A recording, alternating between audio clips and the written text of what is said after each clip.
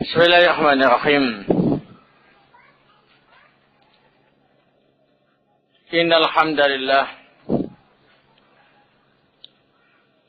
والصلاة والسلام على رسول الله وعلى آله وصحبه ومواله ما بعد Khanafitin ausakumullah Kita lanjutkan kembali Kajian usul, usul sunnah Karya Imam Ahmad ibn Hanbal rahimahullah Qala rahimahullah Wa qitalul lususi wal khawarij jaiz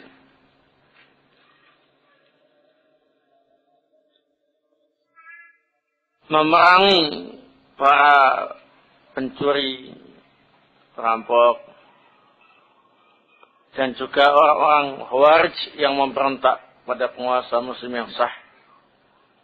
Jaiz, boleh.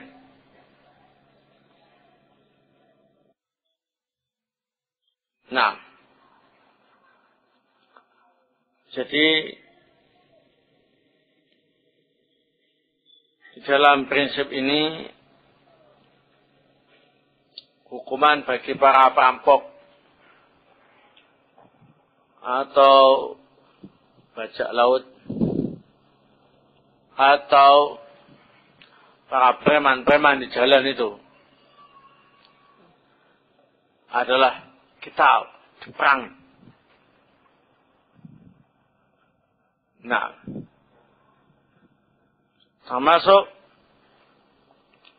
Khawarij, para pemberontak terhadap penguasa muslim yang sah. Mereka itu boleh diperangi. Tentunya di bawah komando penguasa muslim yang sah. Nah, dengan sekarang ini ada gerakan apa ini? premanisme ya. Nah, operasi premanisme jalanan ya. Itu preman-preman jalanan yang suka bikin onar, suka merampok uang, suka mengganggu. Nah, termasuk pasukan anti teroris. Nah, itu termasuk anti khawarij. Ya, kalau mengsasarannya benar, fadak. Itu yang dimaksud. Maka al-sunnah wal jamaah mendukung penuh gerakan itu. Karena itu boleh. Sebagai hukuman. Kital, kata Syekh Rami bin Hadi al-Mudkhari wa ta'ala. Bukan al-qatl. Jadi kita memerangi mereka tidak niat membunuh mereka. Tapi niat memberi pelajaran sama mereka supaya kapok. Termasuk pemerintah. Harusnya tidak sampai membunuh mereka. Cukup dengan apa ini? Memberi pelajaran sama mereka. Tembak kakinya atau kantongi itu ya. Naam. Hmm. Barakofikum. Tapi kalau ternyata sampai terbunuh karena memang dalam penumpasan gerakan separatis atau operasi melawan para preman-preman jalanan, perampok, bandit-bandit, bajak laut itu setidaknya risiko juga ya. Nah, kadang-kadang juga mau nembak kakinya ternyata kena perutnya, ya kan? Nah, yang penting niatnya tidak membunuh, maka tidak berdosa kalau sampai mereka terbunuh. Bahkan disebutkan oleh Imam Ahmad, "Idza aradu lirajul fi nafsi." Kalau mereka ternyata mengancam keselamatan jiwa kita, khususnya ketika kita berada di barisan pasukan penguasa yang menumpas gerakan-gerakan separatis seperti itu. Ternyata bandit-banditnya atau preman-premannya atau perampok-perampoknya atau para anggota khawarij tadi itu mengancam nyawa kita, atau memaksa merampas harta kita, falahu ayuqatil an nafsi wa malihi. Maka dia boleh untuk berperang dengan orang itu dalam rangka menyelamatkan jiwa dan hartanya. Wa yadfa'u anha bi kulli ma dan melawan dengan apa yang ia mampu. Nah. Walaysa lahu idza faraquhu aw taraku ayatlubahum. Kalau perampoknya atau warisnya tadi itu kabur karena kalah. Ya. Maka tidak perlu untuk mencari jejak mereka atau mengejar mereka, ya. Nah, mereka sudah babak belur, terluka, sudah lumayan, ya. Nah, tidak usah dikejar. Walayat tapi wasahum tidak perlu mengikuti jejak mereka. Laisa li ahadin ilal imam awwalatul muslimin. Nah. Hal itu tidak dilakukan penumpasan-penumpasan semacam itu oleh seorang pun kecuali penguasa kaum muslimin yang sah. Tidak person alasannya menumpas gerakan separatis dia tetangga-tetangganya dibunuh sendiri gitu nah ini maksudnya lebih besar. Jadi harus dibawa komando apa ini? Penguasa. Wa inna ma lahu ayatfa'an nafsi fi maqamihi dalik tugasnya dia adalah menjaga dan membela diri di tempatnya. Masalah ngejar dan sebagainya itu bukan tanggung jawab dia. Penguasa mengejar silakan. Tapi Anda sudah cukup di situ saja, ya. Nah. Wa yanwi bijudi Allah yaktul ahadan dan harus punya niat semampunya tidak membunuh seorang pun dari orang-orang khawaris atau apa namanya itu para perampok bupati itu. Fa'imata ala yadai fi dab'i an-nafsi fil ma'rakah. Kalau orang khawarij atau perampok-perampok itu mati di tangannya ketika dia membela keselamatan dirinya di medan laga. Fa'abadallahu al-maqtul. Maka Allah subhanahu wa ta'ala menjauhkan orang yang terbunuh tadi. Ya, naam. Dari surga. Wa in kutila hada fitil kalhal. Tapi kalau yang membela dirinya tadi itu yang terbunuh dalam keadaan semacam itu, wa yadfa'u an nafsi wa malihi dalam keadaan membela dirinya dan hartanya, rajautu lahu syahadah. Kami harap dia mendapatkan mati syahid. Kama ja'a fil hadis sebagaimana disebutkan dalam hadis-hadis. وجميع الآثار في هذا وجميع الآثار في هذا إنما أمر في قتاله semua asar yang menyebutkan masalah ini hanya menyebutkan perintah untuk memeranginya. Walam yu'mar biqatli dan tidak memerintahkan untuk membunuhnya. Wal tibai dan tidak pula mengikuti jejak langkahnya.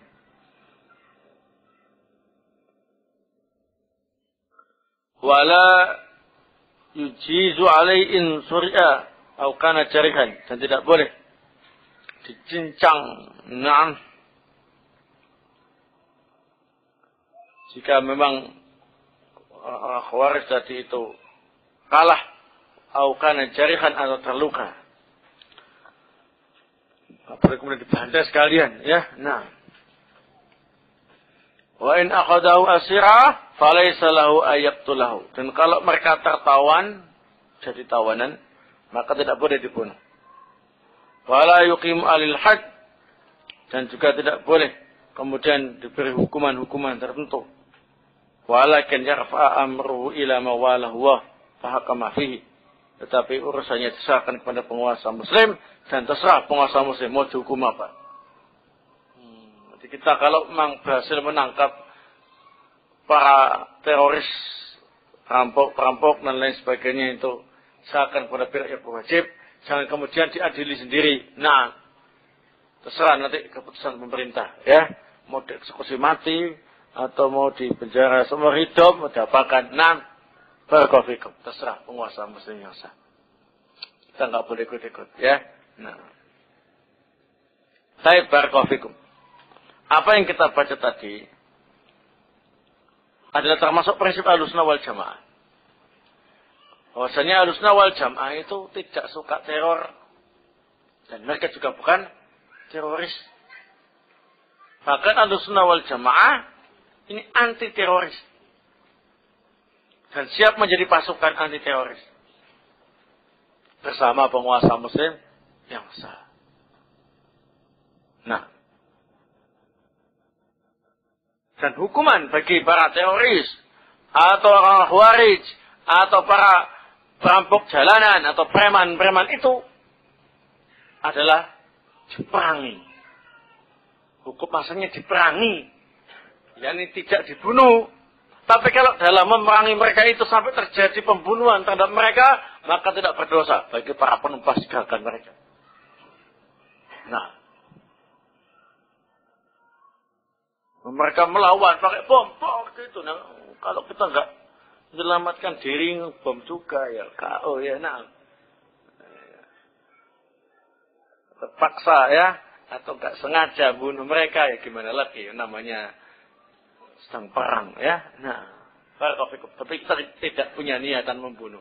Niatnya cuma apa ini? Memerang. Kemudian kalau mereka kabur menurut aturan syariat dibiarkan. Mereka bukan orang kafir, ya.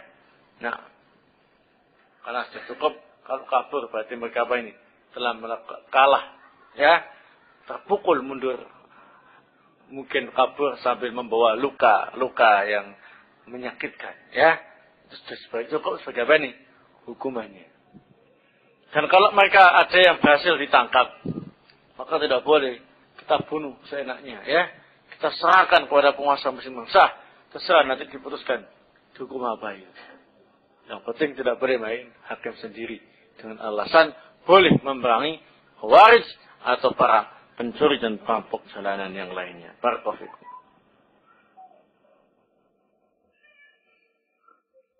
Nah, hal ini berdasarkan hadis yang diriwayatkan oleh Imam Muslim nomor 140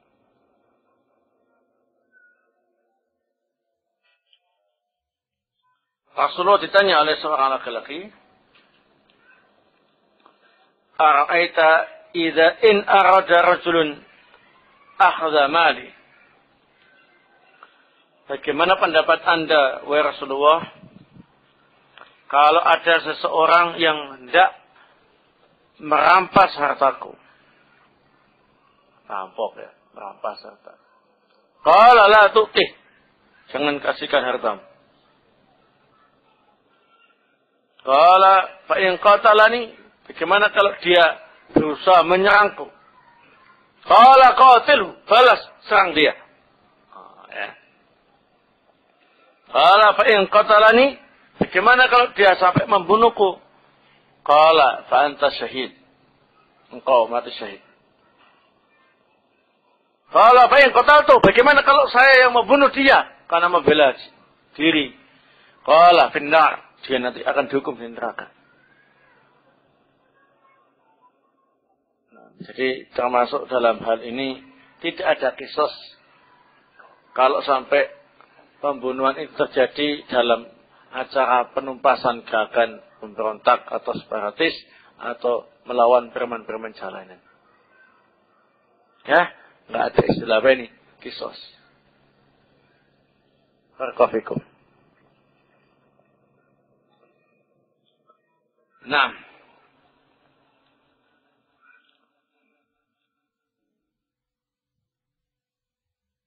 Sini terdapat dalil juga bahwasanya orang yang mati dalam keadaan membela dirinya karena didolimi atau membela hartanya karena mau dirampas. Nah, bahkan Syekh uh, Syekh bin Hadi al-Muthari dalam Sarah Sunnah menyatakan termasuk membela istri dan anaknya yang didolimi sama seseorang atau keluarganya, nah dimasukkan dalam bab ini. Kalau sampai dia terbunuh, mati syahid. Kalau sampai dia membunuh, maka yang dibunuh tadi itu neraka tempatnya. Dan dia tidak berdosa karena membunuh orang. Dan juga tidak dikisos karena membunuh orang tadi itu. Membela syahid. Ya. Nah. Berdasarkan hadis yang diriwayatkan oleh uh, At-Tirmidzi, uh, nah, disahihkan Syalbani dalam Sahih Sunan Tirmidzi hadis nomor 1421 1421 Wa man qutila duna nafsi fahuwa syahid Barang siapa yang terbunuh karena membela dirinya maka dia mati syahid Wa man qutila duna mali fahuwa syahid dan barang siapa yang mati dikarenakan mempertahankan hartanya yang dipaksa oleh perampok untuk diambil, maka dia syahid. Pamang kutila duna dinhi. Dan para siapa yang mati dalam rangka membela agamanya, maka dia juga mati syahid. Barakofikum. Kalau matinya itu di medan pertempuran melawan orang kafir, maka diperlakukan sebagaimana suhada yang lainnya. Tapi kalau matinya itu di jalan, tidak di medan pertempuran, nah Barakofikum, maka ini hanya dihukumi seperti orang yang mati syahid. Tetap dimandikan, tetap apa ini? Disolatkan. Nah, Barakofikum Tetap dikafani juga, ya. Nah.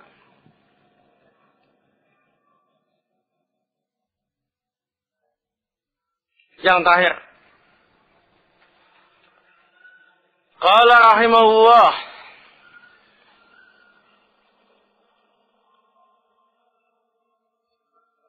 ولا نشهد لأحد ولا نشهد على أهل القبلة بعمل يعمله بالجنة ولا النار kita tidak boleh langsung menyatakan syahadah seorang itu surga tempatnya atau neraka bagi yang masih muslim ya dengan sebab amalan yang dilakukannya. Narju salih kita mengharap kebaikan untuk yang matinya dalam kondisi baik. Wa nakhafu alal musi al mudnib dan kita mengkhawatirkan keselamatan orang yang matinya dalam kondisi berdosa. Wa narju lahu rahmatullah dan kita mengharap rahmat Allah untuknya. Ini permasalahan asyhadah fil jannah wa ya. Prinsip alusna wal jamaah tidak boleh mengklaim seorang muslim sebagai penghuni surga atau sebagai apa ini? Penghuni neraka. Dengan sebab amalan yang kita saksikan. Kalau orang kafir, mati kafir, jelas. Adunar.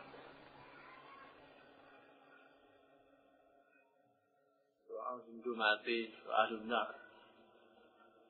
Ya. Tapi kalau yang mati itu muslim, apa pun jenis amalnya, kita nggak boleh bilang dia itu ahlul jannah atau ahlul nar. Ada yang mati dalam kondisi sedang sholat. Wah, syahid, ahlul jannah. Nggak boleh. Ada yang mati dalam keadaan mabuk. Wah, ini min ashabi jahannam. Hmm, ya, tak boleh. Selama dia matinya masih muslim, nggak boleh dipastikan semacam itu. Barakofikum.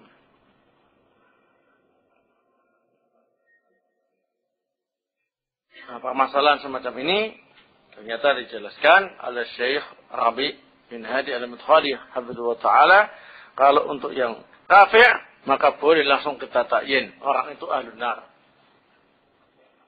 Tapi kalau muslim, maka tidak boleh hukum asalnya. Dijelaskan dalam Sarah Aqidah Tuhawiyah bahwasanya dalam masalah syahadah bil jannah para ulama salaf ini ada tiga pendapat.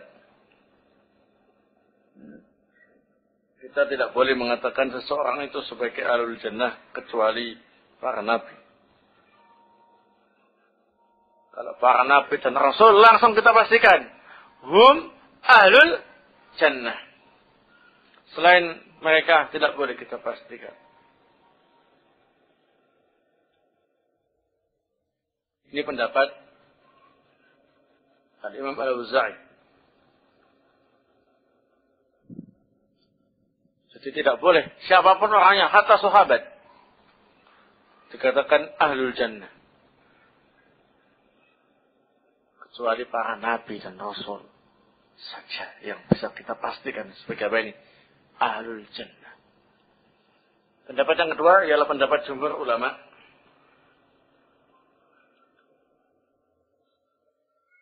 bahwa kita boleh menyatakan seorang itu sebagai ahlul jannah bila ada nas yang menjelaskannya. Sekalipun bukan nabi dan rasul, termasuk 10 sahabat yang dikabarkan oleh Rasulullah termasuk ahlul jannah, ya. Nah, maka kita bilang Abu Bakar ahlul jannah, Umar ahlul jannah, Utsman ahlul jannah, Ali ahlul jannah dan seterusnya. Kalau ada nasnya. Kalau nggak ada nasnya, ya kembali ke hukum semula. Nggak boleh dipastikan. ya. Kalau dia mati ya kayaknya melakukan amal kebaikan, ya kita berharap kebaikan lah untuk dia. Ya, mudah-mudahan Allah Subhanahu Wa Taala memberi karunia kepadanya. Ya. Kemudian yang ketiga, di samping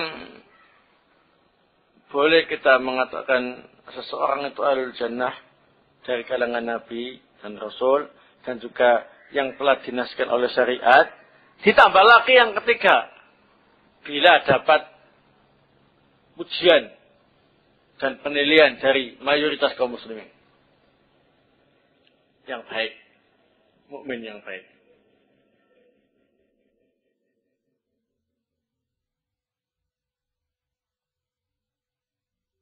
Bagaimana dalam hadis Bukhari Muslim, ketika ada jenazah lewat, kaum mukminin saat itu langsung memuji jenazah ini dengan kebaikan. Maka Rasulullah mengatakan wajabat. Wajabat. Ada lagi jenazah yang lain lewat.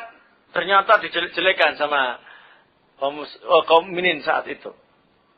Maka Rasulullah bilang wajibat. Maka para sahabat di antaranya ialah Umar bertanya, "Ma wajibat?" Wahai Rasulullah, apa maksudnya wajibat? Kata Rasulullah, "Hadza afnaitum alaihi khaira wajibat lahul jannah." Yang kalian puji tadi dengan kebaikan, maka wajib baginya masuk surga atas pujian kalian. Wahada asnaitum alaihi syarra wajabat launar. Sedangkan apa yang kalian saksikan sebagai orang jelek tadi itu. Wajib wajib baginya untuk masuk neraka. Sekalipun gak kekal. Ya.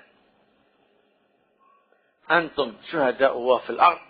Kalian ialah saksi-saksi Allah yang ada di muka bumi.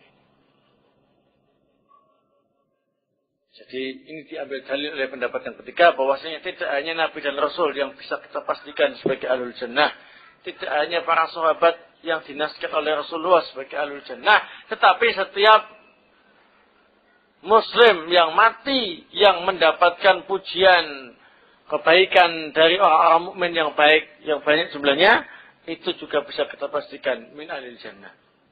Menurut pendapat yang ketiga. Rupa-rupanya Imam Ahmad bin Hanbal ta'ala dan juga kebanyakan ahlul hadis memilih pendapat yang kedua. Nah, dikarenakan hadis ini bisa kita bawa kepada nas dari Rasulullah tentang jenazah yang lewat tadi itu. Di samping itu yang muji ialah para sahabat. Sehingga nggak bisa kemudian sembarangan orang. Ya, apalagi di akhir-akhir zaman ini kualitas keimanan yang ada yang kaum muslimin perlu banyak dipertanyakan ya sehingga persaksian mereka juga apa masih belum kuat ya nah barakallahu dan rajin memang dalam masalah ini ialah pendapat yang kedua bahwasanya seorang itu boleh dipastikan sebagai alul jannah jika ada nas dari Rasulullah sallallahu alaihi wa alihi wasallam. Nah, termasuk para nabi dan rasul. Dari sinilah ya kanabatin alzakumullah termasuk prinsip alusunah wal jamaah. Tidak boleh langsung menghukumi orang itu sebagai syahid. Karena kalau sudah bilang syahid itu berarti fil jannah. Nah, nggak boleh. Kecuali yang memang sudah dinaskan oleh Rasulullah Sallallahu Alaihi Wasallam. Oh, ini perang di jalan Allah kok. Iya, tapi jangan bilang langsung dia itu syahid.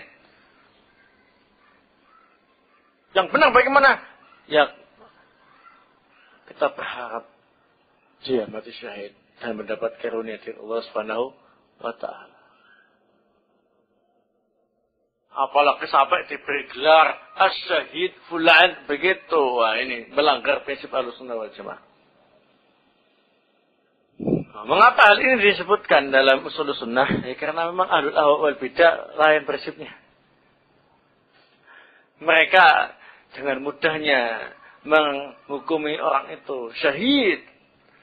Nah, apalagi kalau yang ngomong kiainya syahid Allahu Akbar, syahid. Gitu ya. Nah, apa ini? Terlalu ceroboh dalam nilai, ya. Oh, sampai menyebutkan sekian banyak ciri-cirinya. Matinya tersenyum. Nah, baunya wangi. Ya, semuanya itu itu bukan dalil. Bolehnya mengklaim orang itu mati syahid secara pasti ya nah. Tapi hal itu menunjukkan bolehnya kita berharap kebaikan untuk orang itu yaitu mudah-mudahan orang ini matinya husnul khotimah mudah-mudahan orang ini diberi syahadat oleh Allah Subhanahu wa taala. Demikian tidak langsung kemudian diklaim. Saya yakin dia syahid titik kalau bukan syahid, apalagi yang layak diberikan kepadanya. Oh, gitu. Nah ini semuanya bertolak belakang dengan prinsip al-sunnah wal jamaah. Barakofikum. Nah, ini mungkin yang bisa saya sampaikan pada pertemuan kita kali ini. Insya Allah kita lanjutkan beberapa prinsip-prinsip yang lain yang masih banyak pada kesempatan yang akan datang. Wassalamualaikum warahmatullahi wabarakatuh. Muhammad wa ala alihi wasallam. Walhamdulillah.